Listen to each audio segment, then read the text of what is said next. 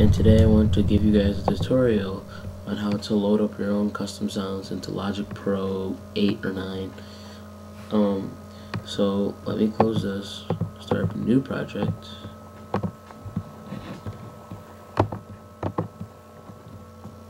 So if you already have things loaded up what you're first going to do if you're starting fresh is click software instrument as if you're just like a regular startup go to drums and percussion go to Ultrabeat drum kits then go down to drag and drop samples kit right?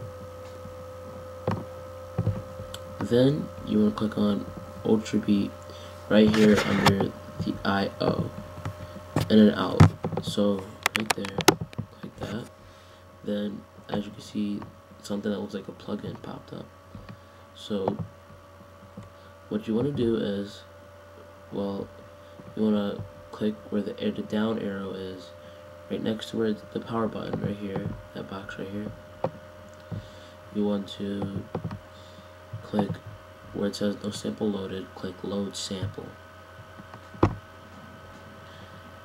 Right so you load sample and what you just look for where your drum kits and things like that are at.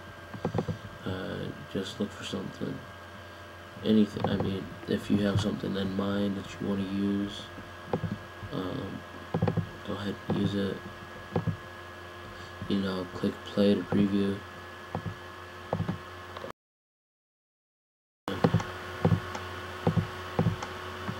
And it'll it'll loop it unless you press stop. So you just click open on that one. Then you, let's say you want another another instrument or sound I guess you could say. You could also reverse it doing this.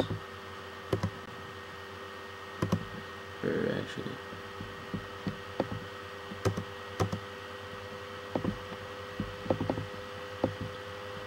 And you reverse it like that. Press this arrow right here the side arrow switches. This is regular reversed you can reverse it then just do the same thing if you want another sound click load sample then I guess just play it.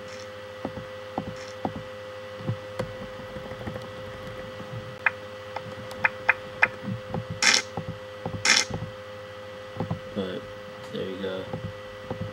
Reverse it. Uh, let me show you guys what I'm talking about when you reverse it you just press the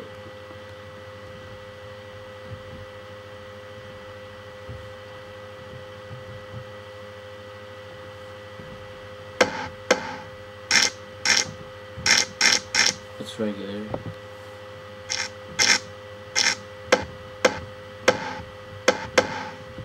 I'm not sure if it's gonna do it, but like that. It reverses it so you can make your own reverse cymbals anything like that. Reverse cymbals are good for transitions, but um, that's it. So comment, rate, subscribe. Sic Nasty Productions. Also check out uh, the Me TV account, Me TV, YouTube.com slash Me TV 1005. Alright, peace.